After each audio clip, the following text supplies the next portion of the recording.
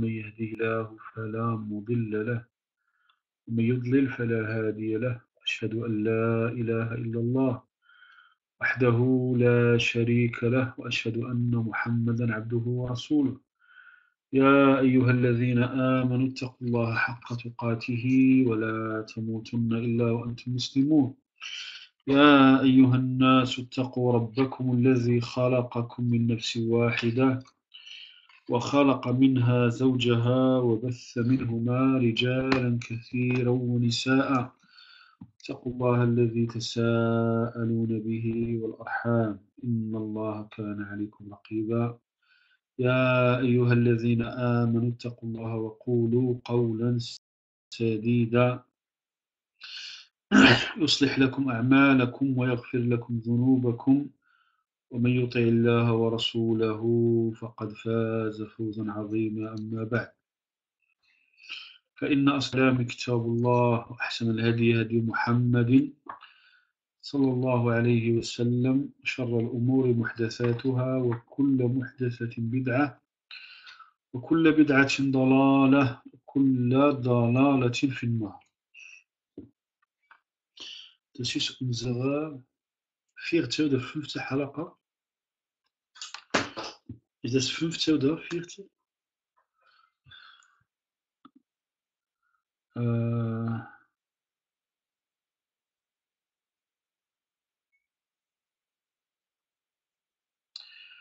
also ich muss noch schauen, wie das geht. Ich weiß nicht, wie das geht, weil das alles neu hier.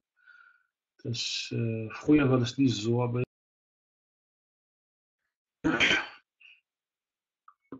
ich schaue mal später, inshallah, wie das geht. Äh, das ist unsere fünfte Halakha, die Erklärung von, von dem Buch 200 Fragen und Antworten zu Al-Aqidah. Äh, Sheikh al-Hakami, nachdem er über, äh, über die Bedingungen von La ilaha geredet hat, hat angefangen jetzt diese Bedingungen einzeln zu detaillieren.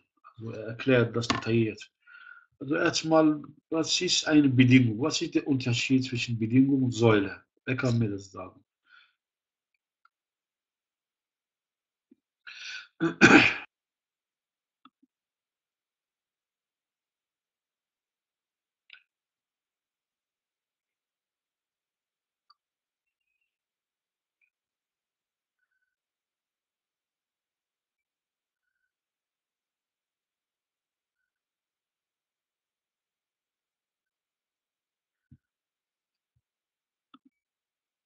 Äh, äh, Moment. Äh, Bedingung ist außerhalb. Ja, also Bedingung ist außerhalb. Säule ist innerhalb. Das ist ein Unterschied zwischen den beiden.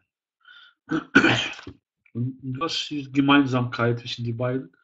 Also was ist die Gemeinsamkeit zwischen, ein, zwischen Säule und Bedingung?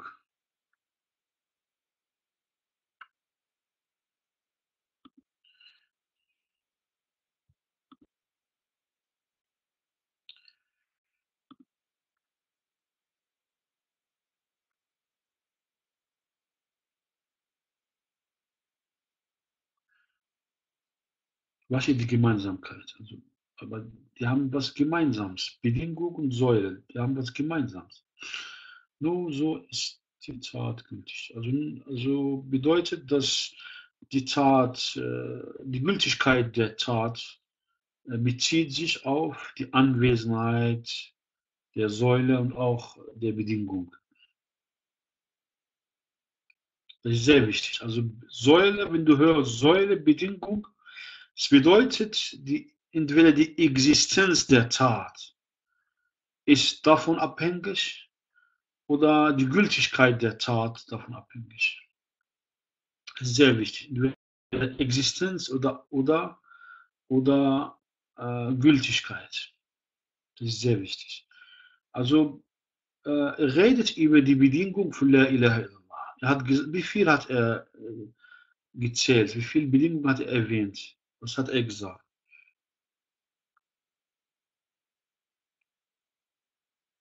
Sieben.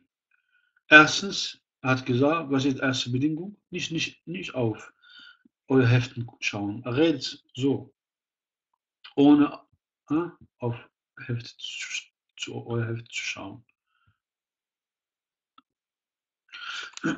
Erste ist ein Ilm, das Wissen. Zweitens,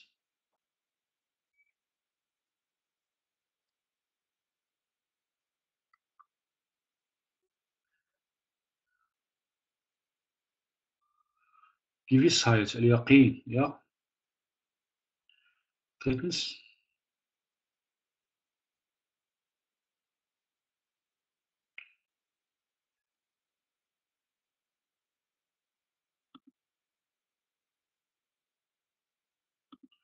drittens Gehorsam. Mhm. Viertens, also Akzeptanz, ja. Akzeptanz. Gehorsam ist fünftens, ja. Sechstens, sechste Säule, äh, ja. Sechste Bedingung.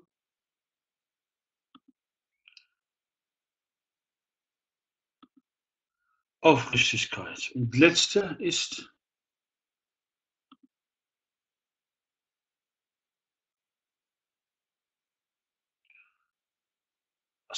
Und dann kommt noch ein, noch ein. Al-Mahabba. Al-Mahabba. Das ist wichtig. Das sind die sieben, das sind die sieben, das sind die sieben Bedingungen für La ilaha illallah. Das sind die sieben Bedingungen für La ilaha illallah. Also äh, jetzt, äh, er redet äh, detailliert über jede einzelne Bedingung. Er sagt, Frage 20, welche Beweise gibt es im Koran und Sunna, dass das Wissen, das Kennen von La ilaha illallah eine, eine Bedingung ist? Ja? Er sagt, Allah subhanahu wa ta'ala sagt, außer wer der Wahrheit entsprechend bezeugt. Das heißt La ilaha illallah. Und sie wissen es. Illa man shahida bil haqqi wa hum ya'lamun. Also das ist eine Bedingung. Und sie wissen es. Redet über La ilaha. Sie kennen mit ihrem Herzen den Sinn dessen, was sie mit ihrer Zunge ausgesprochen haben.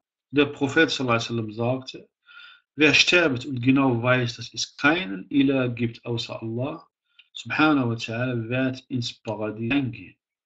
Das ist, äh, das ist Hadith authentisch. Hadith hat der Imam äh, Muslim äh, aufgeführt, in seinem Werk aufgeführt.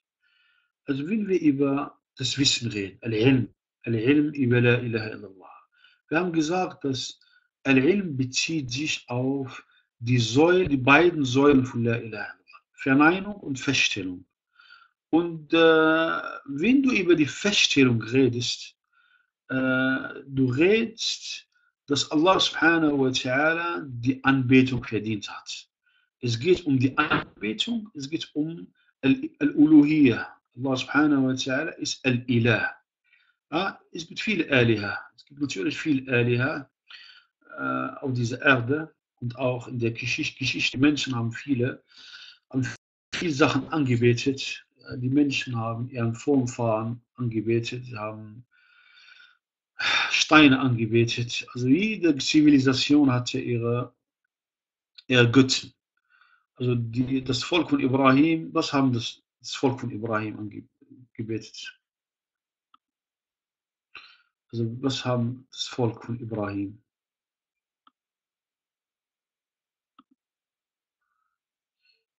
Das Volk von Ibrahim haben die vorher angebetet?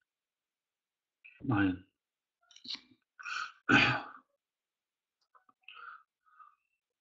Also Planeten, das Volk von Ibrahim haben Planeten, die haben auch Götzen. Steine haben auch Steine, aber die haben Planeten. Deshalb Ibrahim redete über die Sonne, redete über den Mond. Also das ist, äh, äh, die, äh, die Perser haben vorher angebetet. Die Geschichte von Salman al-Farisi, Abbas hat überliefert über, über, die, über die Geschichte von äh, Salman. Salman hat, hat seine Geschichte zu Ibn Abbas erzählt. das ist äh, von den äh, authentischen Dokumenten, äh, die reden über die Zeit vor dem Prophet sallallahu also, äh, Salman hat erzählt, dass, dass sie vorher angebetet. Das ist bekannt, dass die Perser haben vorher angebetet, haben die verehrt und angebetet. Und sie hatten sogar hatten sie Häuser, äh, Ma'abid, also Ma'abid, das ist ein Ort, wo sie, äh, wo sie ein Feuer angebetet haben. Die, äh, die, die Leute von Indien, die Leute von Indien bis jetzt, äh, also es gibt äh, ein Buch von einem Franzose, der, der Historiker und Arzt, Gustave Le Bon, hat ein Buch über, über die Zivilisation von Indien. Und äh, er hat viele, viele Aussagen von Historikern aufgeführt. Sie haben, sie haben Millionen von, von Göttern, diese in, Leute von Indien. Äh, sie haben ihren Vorfahren angebetet. Ganze Vorfahren haben sie angebetet. Jeder betet seinen Vorfahren. Sie beten Mäuse an, sie beten Steine, die beten Frauen. Viel, die haben viele Religionen. Menschen, die haben viele Religionen bis jetzt. Äh, du findest, dass äh, die, das Volk von Prophet sallam, äh, Historiker, die Leute, die Geschichte geschrieben haben. Historiker. Ach so, ach so da, das, ist, das ist Gustave Le Bon. Moment. Gustave. Er hat auch ein Buch über arabische Zivilisation, Hadarat al-Arab. Also äh, das Volk von Prophet sallallahu äh, sie haben, äh, die haben Allah subhanahu wa ta'ala angebetet. Und neben Allah, neben Allah haben sie Götzen angebetet. Das Volk von Prophet sallallahu Sie verehren Ibrahim a.s. und Ismail und sie, äh, und sie sind stolz, dass sie, äh, dass sie Nachwuchs von Ibrahim und Ismail. Und äh, auch diese Zeit von der Fatarat, Fatara, Fatara das ist äh, Zeit, wo kein Prophet gibt. Aber die Grundlagen sind immer da. Die Grundlagen sind immer da. Äh, das vom Prophet sallam, sie haben Steine angebetet und die, diese Steine die kamen aus Scham. Als ein Mann heißt äh, Amr ibn Luhay, der war früher der, bevor der Prophet sallam, äh, er war der Führer von Mekka, ist von Beni Machzum und er hatte eine Reise nach Scham, damals als äh, die Römer Scham erobert haben. Und äh, er sah, wie dort gelebt haben. Also, die haben gut gelebt, die waren reich und alles. Und äh, er hat gemerkt, dass sie Steine anbeten. Er hat diesen Bezug gemacht zwischen wie sie leben und, äh, und die, die Anbetung äh, von ihren Götzen. Er hat ein, ein Götze angebracht. Ja? Und das ist der Erste, der diese Götzen nach Mekka gebracht hat. Prophet sallam redet auch über ihn, über Amr ibn Luhay, seine Strafe. Und danach haben die Araber angefangen, die Götzen zu holen. Und jeder hatte seinen Stein. Sogar Umar radiallahu anh redete über, über diese Zeit und sagt, dass wir haben unser Gott aus Datteln gemacht, Ajwa, und äh, wenn wir Hunger hatten, wir haben das gegessen. Und, äh, und jeder, jedes Haus, in jedem Haus gab es ein, ein Stein, ein Gott. Wenn jemand reisen will, das Letzte, was er macht, er, er betet diesen Stein an.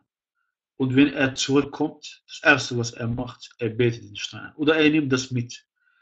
Ja? Also bedeutet, sie haben die Steine angebetet. Im Koran, äh, Allah subhanahu wa ta'ala redet über, über diese Anbetung. Sie haben gesagt, dass diese Anbetung ist ein Mittel zu Allah subhanahu wa ta'ala. Ja, sie haben Allah, sie haben Al-Rububiyya anerkannt. Nicht vollkommen, aber sie haben die Schöpfung anerkannt.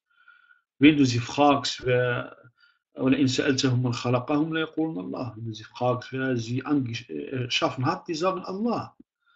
Ja? Aber trotzdem, sie haben die Götzen angebetet. Ja? das ist, das ist Ibadah von, von, von, von, von, von, diese, von Steine. Deshalb, das sind Aliha. Das, das sind Aliha. Aber falsche Aliha. Das sind auch Aliha, weil die wurden angebetet. Aber Allah subhanahu wa ta'ala, Ar-Rabb, Allah subhanahu wa ta'ala hat, niemand hat die Anbetung verdient außer Allah subhanahu wa ta'ala, weil er Ar-Rabb ist. Deshalb das Wissen über das Wort Al-Ilah, Ilah, äh, und das Wissen über die Verneinung und Feststellung. La ilaha illallah. Wir haben das erklärt, dass, äh, wir haben das erklärt, dass äh, La ilaha illallah also hat zwei Säulen, Verneinung und Feststellung. Das Wissen darüber, was er meint hier, was er hier meint. Äh, er sagt, sie kennen mit ihrem Herzen den Sinn dessen, was sie mit ihrer Zunge ausgesprochen haben. Also das, die Übereinstimmung zwischen das Äußere und das Innere. Also sie wissen mit dem Herzen und sie sprechen das aus. Das ist die Übereinstimmung.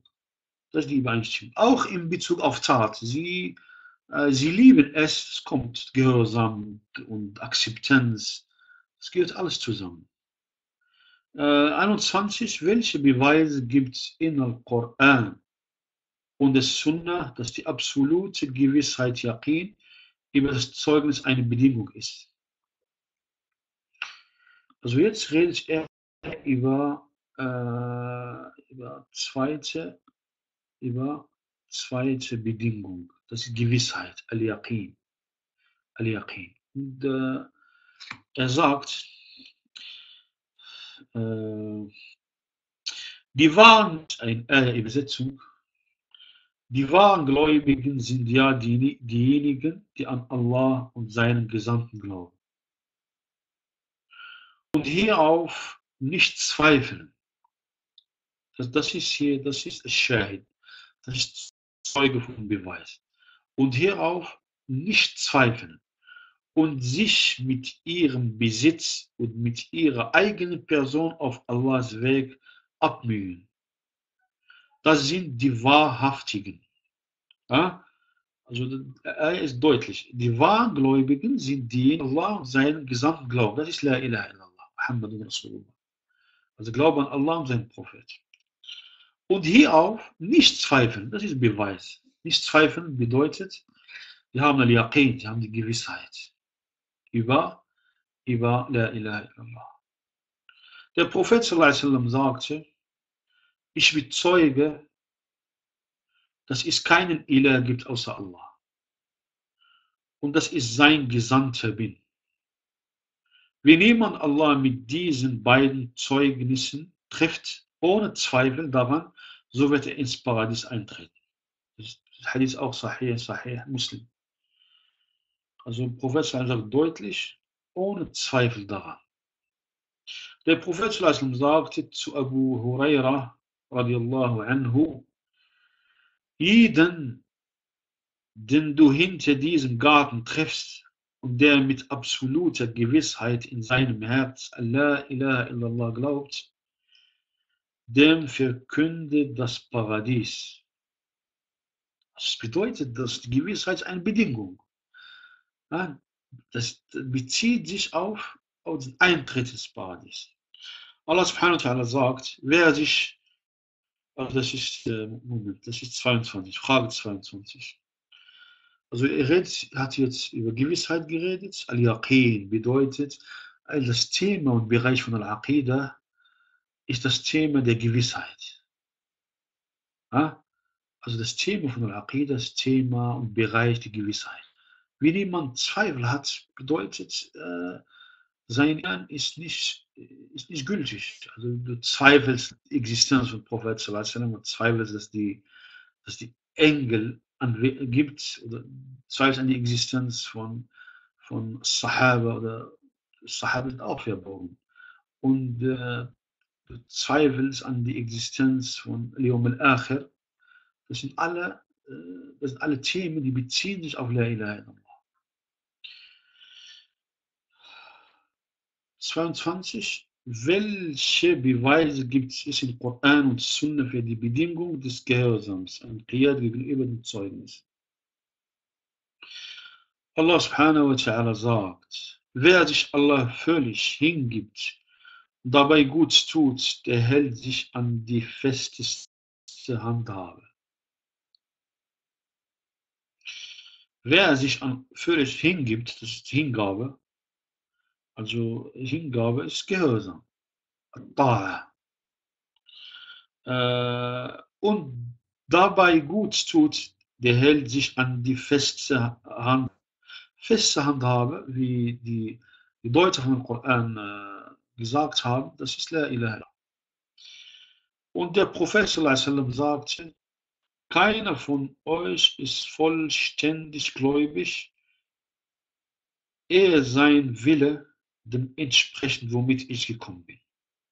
Keiner von euch ist vollständig gläubig, ehe seine Wille dem entsprechen, womit ich gekommen bin. Also das geht Gehorsam. Ja, das, ist, das ist die Bedeutung der Gesam Gehörsamkeit. Also Gehörsamkeit ist eine Bedingung für La ilaha. Das bedeutet, die Gehörsamkeit ist der Bereich des Äußeren. Also du siehst, Gehörsamkeit siehst du, siehst du mit deinen Augen.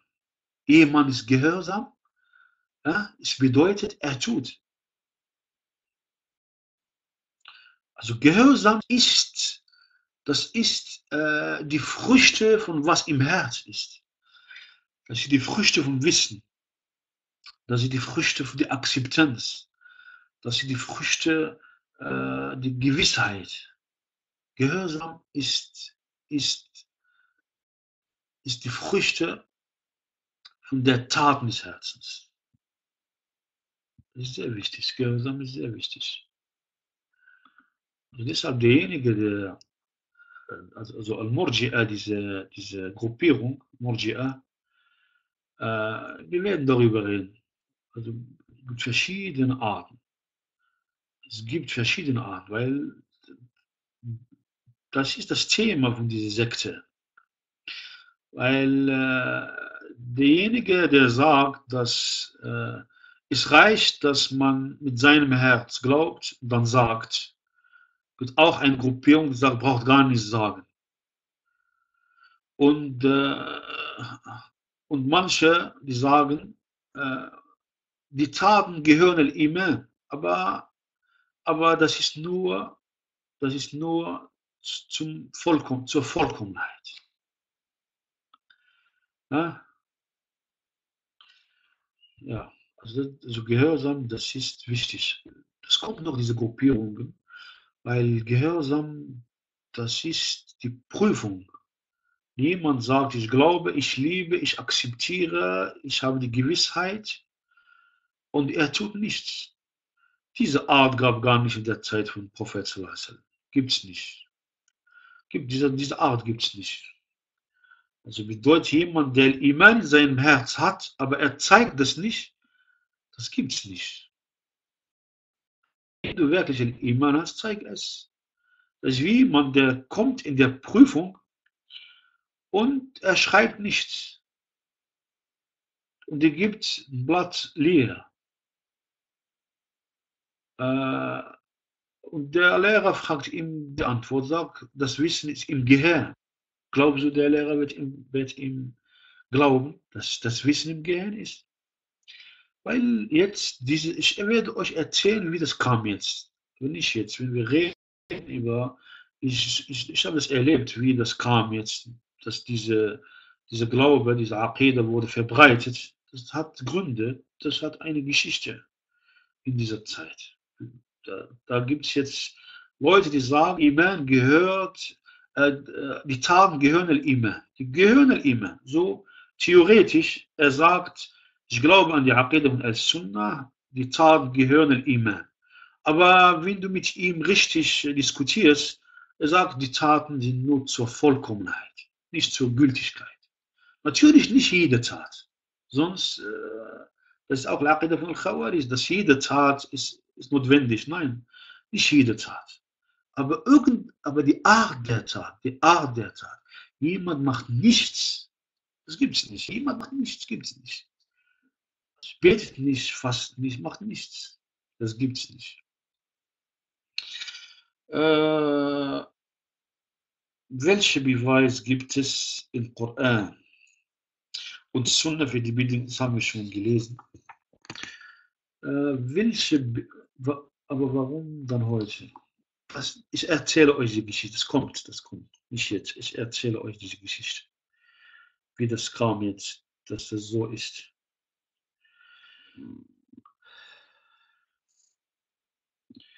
Äh, welche Beweise gibt es in Koran und Sunna für die Bedingung der Akzeptanz, Qabul? Ah, die Bedingung der Akzeptanz, Qabul. Qabul. Qabul ist ein Tat des Herzens. Und du findest, dass äh, der Unterschied zwischen die Sünde von Adam und Sünde von Iblis, was ist der Unterschied zwischen beiden? Also was ist der Unterschied zwischen die Sünde von Adam und die Sünde von Iblis?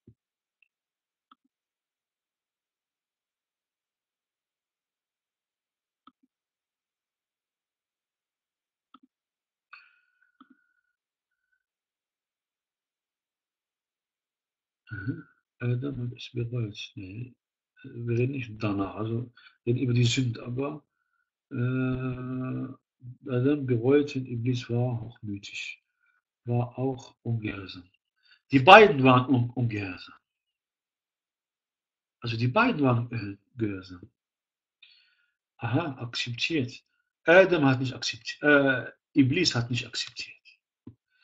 Iblis hat Befehl nicht akzeptiert. Adam hat akzeptiert, aber war ungehorsam. Deshalb seine, seine Ungehorsamkeit ist eine Sünde. Aber die Ungehorsamkeit von, von Iblis, das ist Koffer. Er hat, hat es nicht akzeptiert. Sogar hat er diskutiert. Und der erste, der Qiyas äh, benutzt hat, Schlussfolgerung, das ist Iblis. Er sagt, خلقته من طين, was man auf Erde erschaffen. Khalaqtani min nar. Aus, was mich auch Feuer erschaffen. Und er sagt, er will sagen, das Feuer besser als Erde. Hat angefangen zu diskutieren. Und äh, er hat seinen Verstand hier aktiviert. Hat seinen Verstand aktiviert gegen einen Befehl von Allah. Mit, mit Hochmut und Unakzeptanz. So sagt Allah, Aba wastakbara min al-kafir. Aber Iblis hat es akzeptiert. Es akzeptiert. Eine Sünde gemacht. Du findest jetzt viele Muslime, die akzeptieren nicht. Die akzeptieren viele Sachen nicht. Aber viele diskutieren. Warum das so? Warum, warum ist das so? Die diskutieren. Aber derjenige, der akzeptiert und macht einen Fehler, auch Hijab, auch viele Sachen, viele Sachen. Jeder hat seine Prüfung, viele Sachen. Auch die, viele Frauen mit Hijab, das ist ein Problem. Und dies, warum und wieso? Und äh, das Problem, jeder hat seine Prüfung. Und Iblis, was macht Iblis? Äh, es gibt einen Befehl, ein Verbot. Was macht Iblis? Iblis beeinflusst die Seele, aktiviert die Seele äh, gegen äh, Befehl und Verbot. Entweder er führt die Seele gegen ein Verbot oder er führt, sie zu ein, er, führt, er führt die Seele gegen ein, ein Befehl oder er führt sie zu einem Verbot. In solche Sachen, solche großen Themen wie Hijab, wie viele Sachen mit anderen Sachen. Mann und Frau. Äh, er sagt, welche Beweise gibt es im Koran und Sunna für die Bedingung der Akzeptanz, Qabul?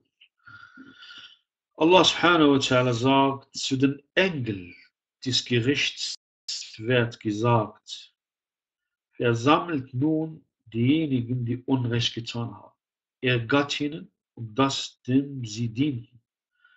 Anstelle Allahs. Also was sie dienten anstelle Allahs. Da leitet sie zum Weg des hohen Brands und stellt sie auf, den werden befragt werden. Und es wird zu ihnen gesagt, was ist mit euch, dass ihr einander nicht unterstützt? Nein, vielmehr ergeben sie sich heute und sie wenden sich einander und, frag, und fragen sich gegenseitig. Sie sagen, er kam doch zu uns stets zurecht her. Sie sagen aber nein, er war hier nicht gläubig. Wir, wir aber hatten keine Macht über euch, sondern vielmehr wart ihr Leute, die das Maß an Frevel, an Frevel äh, überschreiten. So ist das Wort unseres Herrn gegen uns unvermeidlich fällig geworden. Wir werden bestimmt die Strafe kosten. Und so haben wir euch in Verirrung fallen lassen. Denn wir waren ja selbst in Verirrung gefallen. Gewiss, an jenem Tag werden sie an derselben Strafe teilhaben. Gewiss, so verfahren wir mit den Übeltätern, den sie pflegten, wenn sie zu ihnen gesagt wurde. Hier gibt es äh, Zeuge von dem Beweis. Wenn sie zu ihnen gesagt wurde, es gibt keinen Ilah außer Allah, sich hochmütig zu verhalten und sagten, sollen wir denn wahrlich unsere Angebeteten verlassen wegen eines besessenen Dichters? Das ist die Geschichte von Prophet mit seinem Ich. Und so wie alle Propheten. Also, Prophet die haben gesagt, ein Dichter, obwohl sie, sie waren Leute der Dichtung, haben gewusst, dass diese Art äh, der, diese Art, was der Prophet sagt, also dieser Stoff, ist, ist nicht erdisch, sondern himmlisch. Aber trotzdem waren sie hochmütig, besonders Abu Jahl, Abu Lahab, Utbah, das sind die großen Mushrikin von Quraysh. Sie wollten La ilaha nicht annehmen, deshalb die waren hochmütig. Sie haben das nicht akzeptiert, obwohl sie wussten, dass der Prophet die Wahrheit sagt. Das ist eine große Geschichte. Prophet mit seiner vorgroßen Geschichte. Das, es gab viele Etappen. Diese, diese Unakzeptanz, Hochmut hat viele Etappen. Erste Etappe, dass äh, die haben gehört von der Da'wah. Prophet hat die Da'wah heimlich gemacht. Aber die Muschrikin von Quraysh haben davon gehört. Ah, die, Gerüchte, die Gerüchte kamen, die haben gewusst, dass, dass Mohammed da ruft. Aber der Prophet hat nicht Da'wah jetzt mit allen gemacht, auch mit seiner Familie nicht. Er hat mit manchen gemacht, gezielt. Ja? Khadija, seine Frau, Ali radiallahu an, Abu Bakr. Abu Bakr hat auch gezielt zu Leuten. Ja? Zweite Etappe, Prophet redete mit seiner Familie. Er sammelte sie immer. Die waren fertig oder mehr, sammelte sich. Und Abu Lahab hat immer gestört. Diese Sitzung hat er gestört. Und manche von ihnen sind geworden. Wie die Frau von Abbas, wie vielen anderen, äh, sind Muslime geworden. Äh, dritte Etappe, Prophet sallam, wurde ihm befohlen, Da'wah öffentlich zu machen. Deshalb, er hat, Da'wah, er hat angefangen, Da'wah zu machen. Und dann hat äh, die Muschriken von Quraysh haben angefangen, gegen ihn zu, äh, zu arbeiten, weil er hat mit ihnen Dauer gemacht. Also am, am, Anfang, der hat mit ihnen kein Dauer gemacht. Mach, was du willst, aber lass uns in Ruhe. Aber alles er angefangen mit Dauer mit ihnen zu machen, äh, sie haben angefangen, lustig über ihn zu machen. Dichter, verrückt, Zauberer, diese Worte lustig, haben angefangen, lustig über ihn zu machen. Danach, äh, danach, sie haben angefangen, äh, ihn zu beleidigen. Ja? Zu beleidigen, nachdem sie gewusst haben, dass, äh, dass, dass die Mu'minin werden immer mehr. Die haben angefangen, ihm schwer zu machen, die haben beleidigen. Und äh, mit vielen Beispielen dafür, als in Kaaba Gebet hatte, kam einer und hat ihm, hat auf ihm dieser Bauch von einem Kamel, also nachdem die Kamel geschlachtet haben, drauf gemacht. Das ist ein Beispiel. Und manchmal haben ihn mit Steinen, kleinen Steinen, beleidigt. Sie haben ihn viel beleidigt. Danach haben sie angefangen, äh, Sahaba zu quälen, zu foltern. Ja? Äh, und äh, danach haben sie, an, die wollten, nach, als sie gewusst haben, dass, dass Ashabe fest waren, Prophet auch, die waren fest, die haben ihm gesagt, wir geben dir alles, was du willst. Und die haben nicht geschafft. Danach gab es Hijra nach Habasha, danach nach Medina, nach Al-Medina. Und dann ist es äh, deshalb diese Unakzeptanz von den Muschrikin von Quraysh, äh, ohne Grund. Die haben gewusst, dass der Prophet sallam, er, er sagt die Wahrheit. Aber sie haben, sie haben seinen Da'u nicht akzeptiert. Die haben alles verloren. Sie haben alles verloren. Sie könnten alles gewinnen, aber sie haben alles verloren.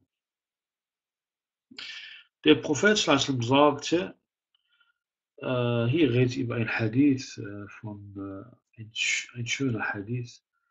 Darf kurz fragen, warum wird wir? Das ist der Prom äh, Damir al-Ta'zim. Allah redet über sich selbst. Das ist, äh, Allah ist gewaltig. Das ist Damir al-Azama. Das, das gibt es auch in, in Dunya. Ein König sagt, wir haben es gemacht. Ja? Das im Arabischen, das ist Damir Azim. Allah ist gewaltig. Er benutzt diese, diese Pronomen der Majestät. Ja.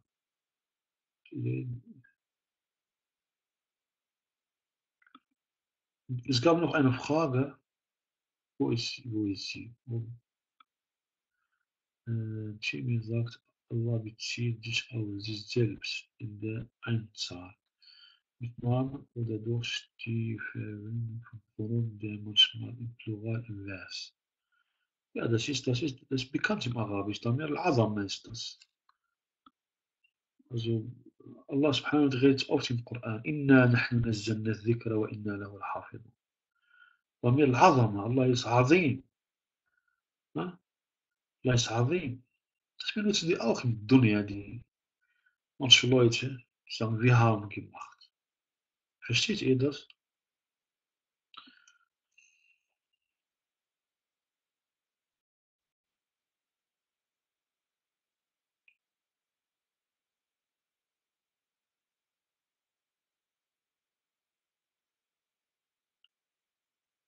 Also meint er Allah oder meint, was meint ihr?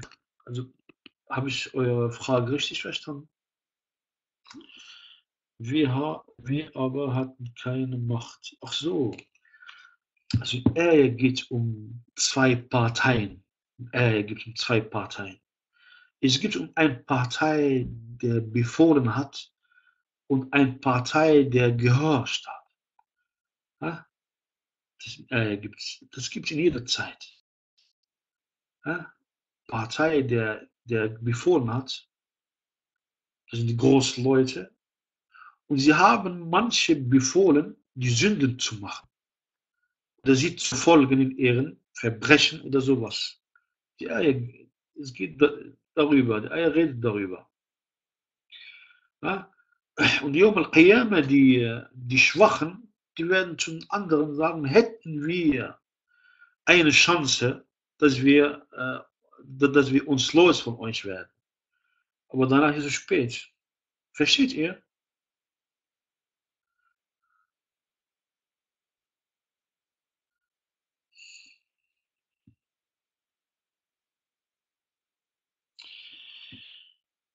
Der Prophet sallam, sagt, wie, wie viele Minuten haben wir jetzt gesprochen?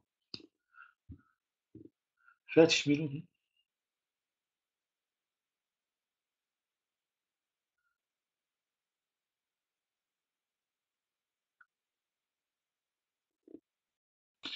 Ich lasse diesen Hadith bis nächstes Mal. Ich will ausführlich den Hadith erklären. Der Hadith ist ein, Das ist ein schöner Hadith, ist das. Ich lasse das bis nächstes Mal. Ich erkläre den Hadith. Das ist, das bezieht sich auf, auf Ilm, die Kategorien der, der Gelehrten und Talabat al-Ilm. Das ist sehr gut, dieser Hadith. Also das lassen wir nicht. Habt ihr Fragen jetzt, was, was wir gesprochen haben?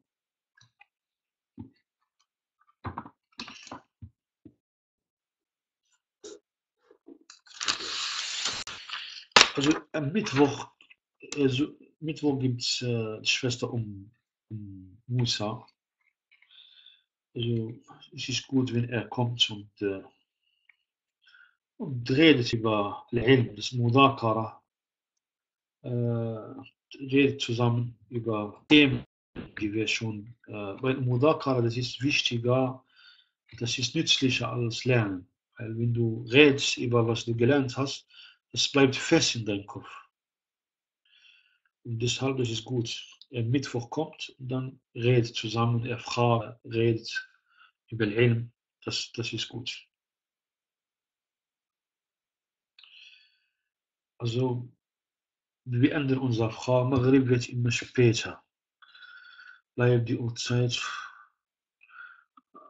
Also jetzt, wir beginnen um Viertel vor acht oder um neun.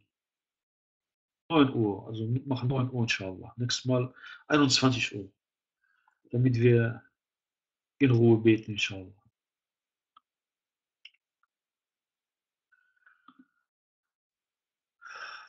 Also nächstes Mal inshallah um äh, 21 Uhr.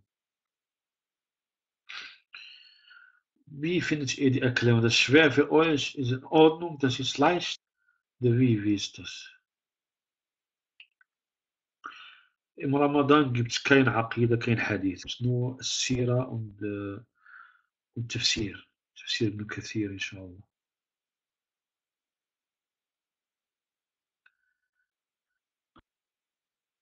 بحسن الشفافة أول شو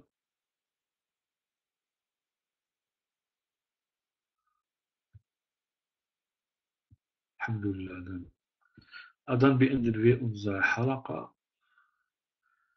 سبحانك اللهم وبحمدك أشهد أن لا إله إلا أنت أستغفرك وأتوب إليك.